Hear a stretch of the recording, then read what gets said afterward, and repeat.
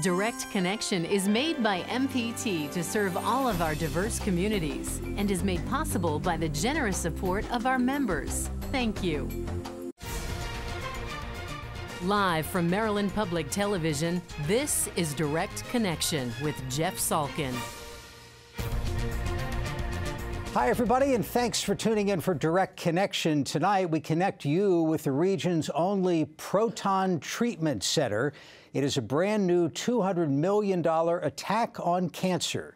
Joining us in the studio now for this week's Your Health topic is Dr. William Regine, the Isidore and Fanny Foxman Schneider Endowed Chair and Professor of Radiation Oncology at the University of Maryland School of Medicine and also Executive Director of the Maryland Proton Treatment Center. Doctor, thank you for being with us and congratulations on right. the opening. It's been a 10 year project and it's great to be here. About 60% of cancer patients, you were telling me, get some form of radiation. Right. For, for how many will, will this be appropriate? So this will probably benefit about 20 to 30 percent of patients who need radiation treatment for their cancer. So the exciting thing, before this center opened up, there really was not any access to this tool in our toolbox. The closest place north is in Pennsylvania. Really the closest place south of credibility is in Florida, in Jacksonville. Closest place west uh, would be in St. Louis. So, do you, do you, think of proton therapy as a subset of, of radiation? Yes, absolutely. Or do you think of it as a different thing? It's a different type of radiation. It is a subset. There's very, uh, there are only a limited number of centers in the country, 20 or less in the center. Um, it's, and it's very expensive typically to build a proton center, so it's one of the reasons it's not easy to have that in most locations in the country. So we feel for, this has been a 10-year project and we're very excited that we can now offer this to the cancer patients in the Baltimore-Washington region. Is there a type of cancer, a type of tumor that is most amenable to, to this kind of treatment? Uh, most commonly is solid uh, tumors, uh, so anything you can imagine, brain tumors, head and neck cancers, um, tumors of the uh, gastrointestinal tract, uh, lung cancers, prostate cancers, particularly pediatric patients, because pediatric patients, their tissues are growing, and the advantage of proton over the standard radiation in that 20 to 30 percent of patients is it really minimizes any dose exposure to surrounding normal tissue. Kids are more sensitive because their tissues are growing. Somebody with uh, breast cancer, prostate cancer, how would it be different? How would it be better? So let's take the example of breast cancer. So one of the areas where people uh, will see the increased indications of use of proton therapy are particularly in patients with left-sided breast cancer. Because underneath the left side of the patient's breast and chest is the heart. And in the last two years, there have been some uh, increasing literature that has shown that even low doses of exposure to uh, woman's heart will increase the risk of coronary artery events. And proton therapy, if you compare compared to the standard photon therapy, in many of those patients will dramatically reduce the dose exposure to the coronary artery. So the patients can be cured, and just as importantly, being cured, not be at risk for any of the long-term side effects of radiation. Forgive me a layman's question yeah. here, but it's it's another form, it's a beam of energy, right. or in this case matter, that, that is going to destroy tissue when it hits the tumor, um, but it's also going to have to go through some, you know, skin, right. some other structures. Right what what makes it other than the ability to aim it better is there anything else that makes it yeah, better? the big it's a physics difference in that protons are charged particles whereas standard radiation are not charged and what that and what that means when it going through your tissue is you can pick an energy of the proton beam so that as it's traversing tissue at a very low dose when it goes to stop and that stops in the tumor all of its energy is deposited into tumor with no dose after that. With photon radiation, we have to come in from many angles, and we can concentrate the radiation to the tumor location, but there's still this low dose exposure to any surrounding normal tissue or organ. We have this very cool animation that, that shows yeah. how the whole center works, and, and it starts with uh, getting some photons. Where, well, where protons, do you get the, the, the protons? protons? So that blue uh, device is the cyclotron. That's a 90-ton device that shoots the proton down a beam line. In generating the protons within the cyclotron, they travel two-thirds the speed of light and over 300,000 miles before they go down that silver pipe. And along that silver pipe, you see these brown magnets. They're called bending magnets. And since protons are charged particles, the protons are steered down the beam line uh, by the bending magnets. They then steered into the back of five treatment rooms. What you're looking at right now is a gantry. That's a uh, device that turns the protons and aims it at the center point of the tumor within the patient. So you see the patient there, that gantry is 283 tons. The accuracy of the beam as it delivers the treatment is plus or minus half a millimeter. The unique thing about our center is when that gantry spins, the first thing it does, it takes a CAT scan. And that's an advancement in proton therapy. Proton therapy, many people might not realize, was first FDA approved in this country in 1988. But only in the last three or four years do we have the cap capability of actually taking a picture of the patient with a CAT scan before the beam comes on, which corrects for any movement of the patient as well as corrects for any motion of the tumor. Because when a patient's laying on the machine, they're breathing and their tumor is moving. So, for instance, a patient with a lung cancer now, you can correct for any motion. And then the beam comes on, and the second advancement beyond the CAT scan is the beam is now a very fine, what we call pencil beam. So it really shapes to the contour of the tumor compared to previous proton beams were able to do.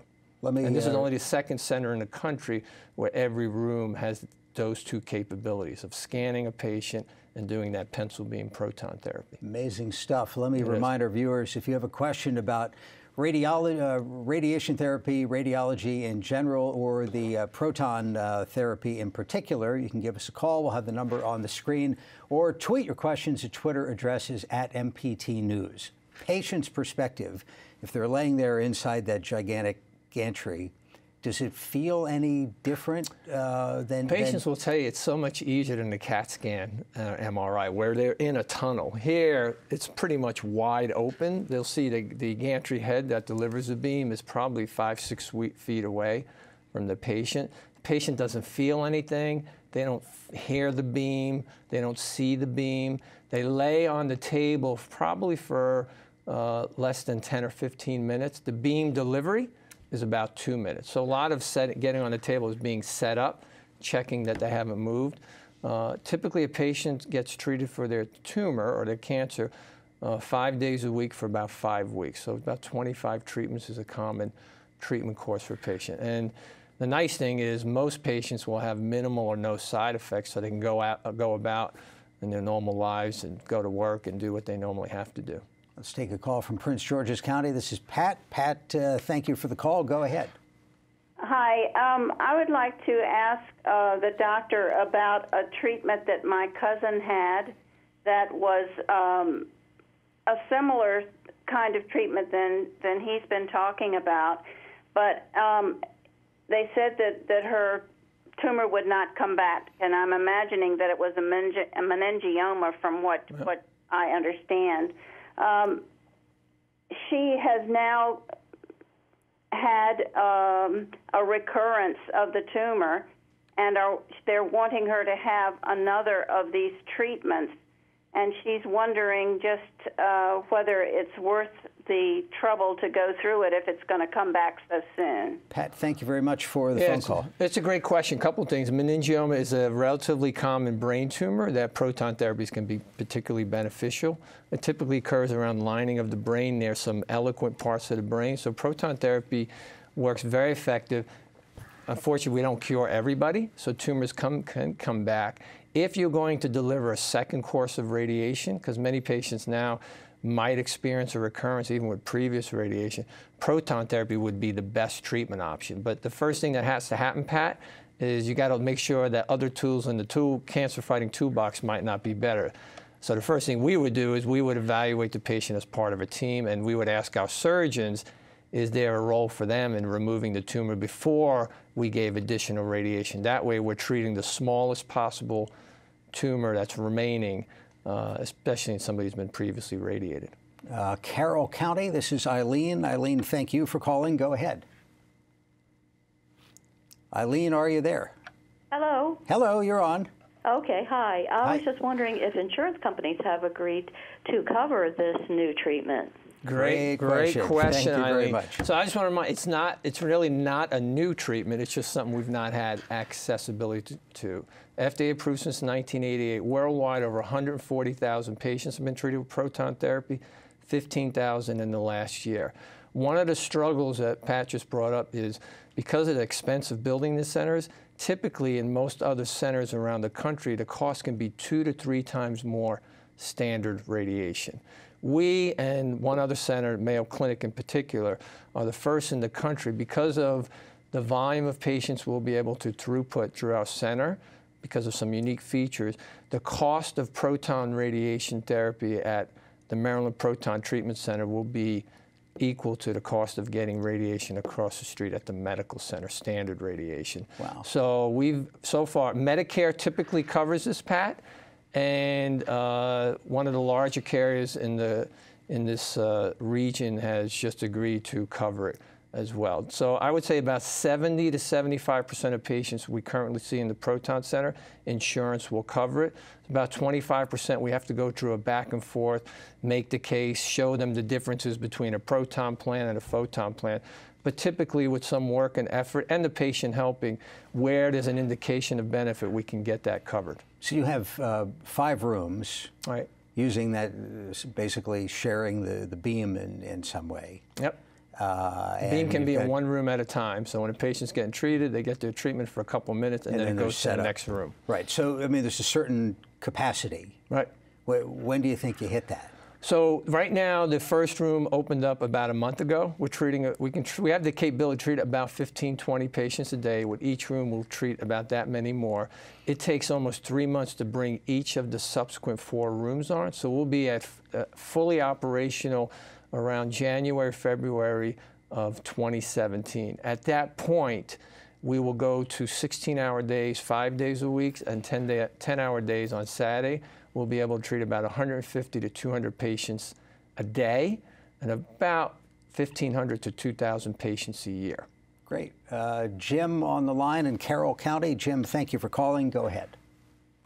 Uh, I believe you you answered the first question, which was going to be how are the proton beams generated, and your diagram kind of explained that.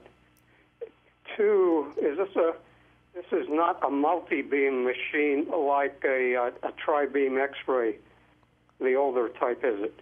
No, this is a single Single beam, beam. beam line, which and the cyclotron varies the energy that it puts down the beam line according to the depth of the patient it's treating, the tumor within the patient within each particular room. So the energy, Jim sounds like a, a engineer. some expertise The energy there, yeah. ranges anywhere from 70 million electron volts to 230 million electron volts. The higher energy is used for tumors that are deeper in the body, lower energy for tumors that are more superficial. I read somewhere that there's about to be a wave of these coming online, that you're sort of in the vanguard of, there are going to be dozens opening in the next yeah, few years. Yeah, um, I don't know if it'd be dozens of them, but there, there's talk now of instead of these large facilities like ours and most of the current facilities, the ability to deliver to build one or two room centers. And you and I talked about Georgetown is going to have a center in about a year. It'll be a single room. We hope to be working actually with Georgetown within our facility. And That's been the vision of, of the center. That's why we built a large center.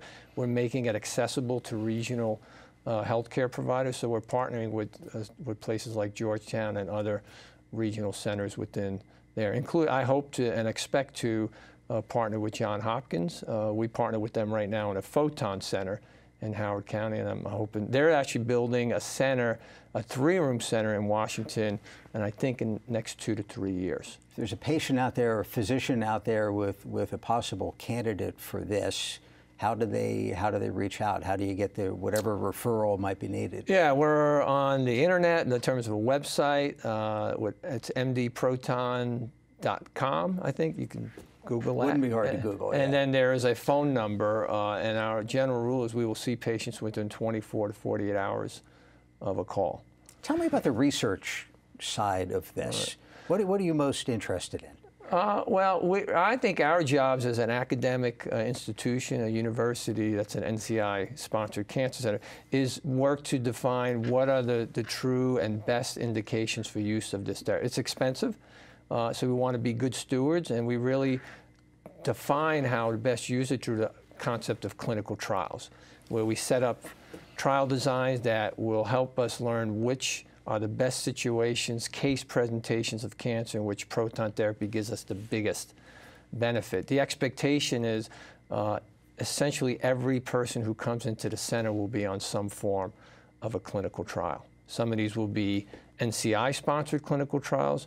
Some will be clinical trials that be born out of other proton centers that we work with, including MD Anderson and University of Pennsylvania, and some will be our own clinical trials. And one point, one of the things that's real important when people are looking at any sort of radiation therapy center, beyond the the strength of the technology, really what's probably even more important is the strength of the people operating it. And we are fortunate, we actually have two individuals who actually trained or worked in the center that developed this most advanced form of proton therapy in Switzerland. Two of them are our, our faculty. And it's why we've already started seeing patients from around the world. We actually have patients who've come to us from Australia, Dubai, Spain, uh, and because of our faculty, not just because of our technology. Tell me if I'm hearing you right that that, that um, a couple of the common cancers that this will be most useful for. You mentioned uh, breast cancer, particularly on the left side, right. where, where the heart is an issue, and the prostate, where you have all of these structures very close to the prostate that you're trying not to harm. Tell me about that, but also the flip side. Is there anything where this isn't going to provide any benefit over regular radiation? Well, I would say in, in, prostate cancer, patients, what we call, they divide patients into low, intermediate, high risk. I say well, for most low risk prostate cancer patients and most in general, there's probably not a great benefit from proton therapy. Uh, the other cancers where protons are going to have a greater benefit are like esophageal cancer, head and neck cancers, which is becoming, becoming almost epidemic in this country because of HPV right. uh, virus uh, brain tumors for sure, lung cancers, breast cancers, um, certain types of liver tumors. The most common cancer worldwide is liver cancer. We see a lot of hepatocellular cancer at our institution because we have a big transplant uh, program. Uh, so those are those are probably some of the bigger cancers. Let's grab some more phone calls. Uh, Gene in Carroll County. Gene, thanks for the call. Go ahead. Yes, my question is Has uh, this therapy, this treatment, been tried with uh, ovarian cancer? And if so, has it had any effect at all? Thank you.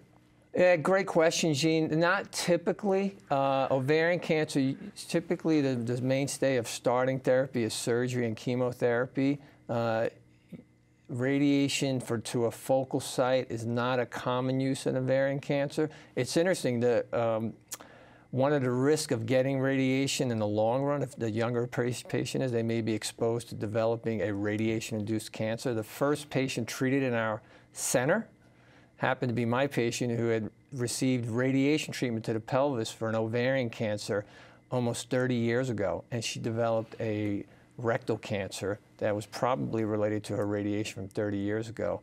And because of her previous radiation, proton therapy was a perfect indication to use in her treatment.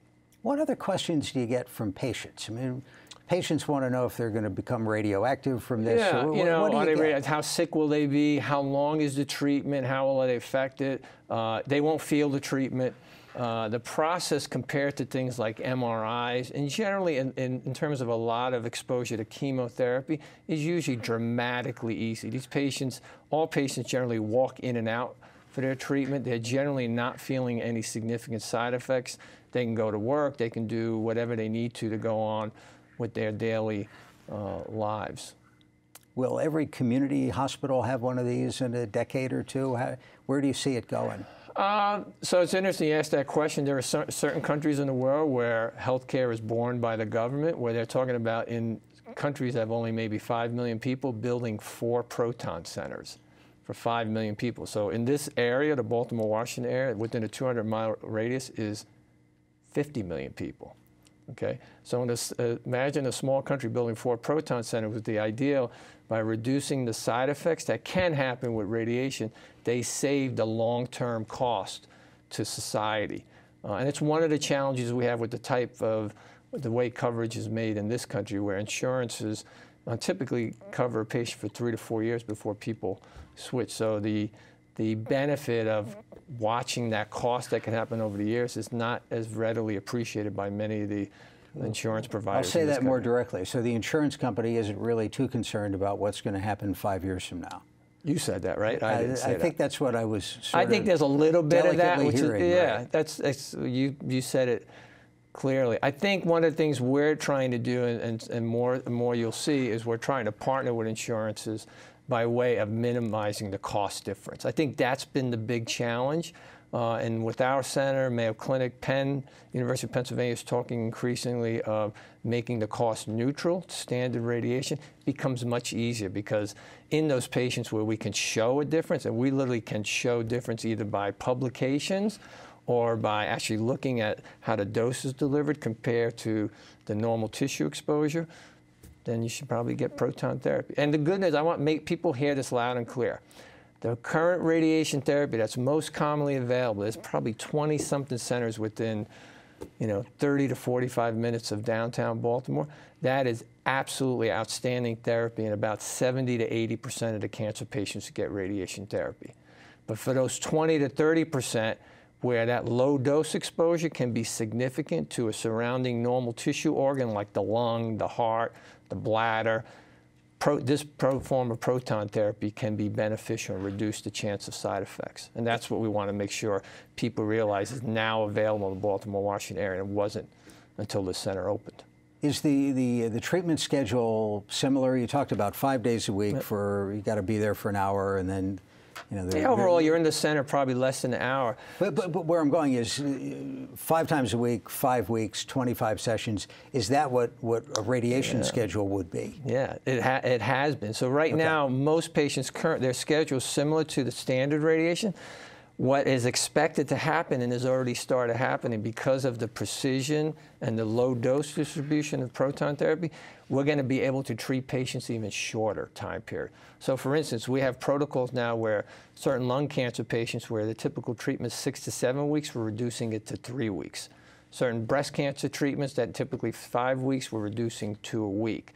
So that's going to also increasingly happen with this type of technology. We're going to dram- start dramatically shortening the length of the overall radiation treatment in terms of days and weeks. And that's something we'll also have to define through the clinical trials we conduct at the Proton Treatment Center. Let's take a call from Pennsylvania. This is Betty. Betty, thank you for calling. Go ahead. Yes, my question is is if this therapy is effective with multiple myeloma patients. You know, typically I would say we don't use proton therapy in multiple myeloma patients because the good news is multiple myeloma, when you use radiation therapy, very, very low doses can be very effective at, at getting rid of the multiple myelomas the, the treatment is aimed at. So since the dose is so low, there's really not going to typically be a big gain with the use of proton therapy.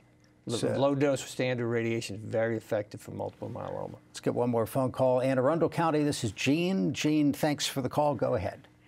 Does this new treatment offer any help for pancreatic cancers? Great question, Gene. Thank you very much. Yeah, so it's, that's actually one of the clinical trials we're developing. One of the challenges with pancreatic cancer is it's a, it- it's a sort of a balance between treating the tumor that we can see, and while at the same time allowing a patient to get the um, more aggressive forms of chemotherapy for the tumor cells we know with pancreatic cancer are trying to spread. And what we hope with proton therapy, since it's much more focused, we can give both at the same time. So one of the studies we'll be opening is treating pancreatic patients where they're getting their full dose chemotherapy and full dose radiation to the pancreas tumor at the same.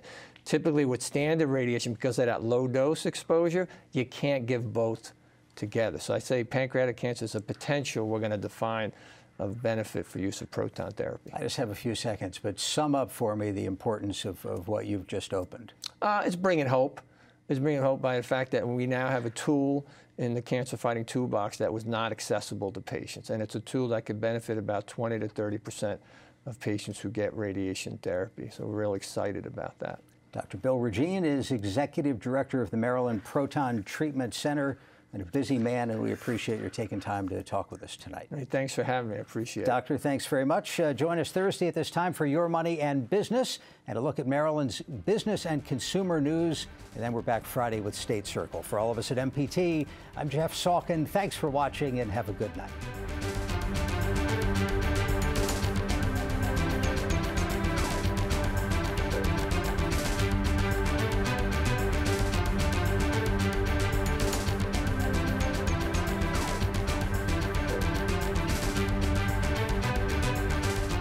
Health segments are a co production of Maryland Public Television and the University of Maryland Medical System. This program was made by MPT to serve all of our diverse communities.